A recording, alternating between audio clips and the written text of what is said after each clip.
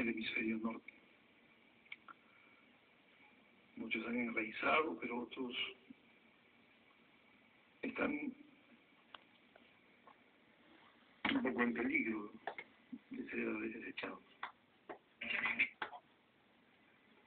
La nostalgia de estos nuestros hermanos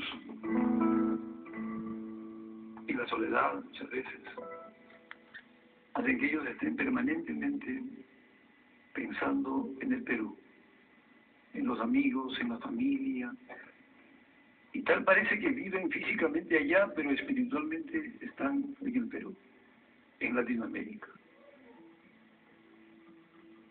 Pensando en ellos, decidí en una oportunidad galopar hacia el sur, al lomo de las seis cuerdas de la guitarra, galopando al sur.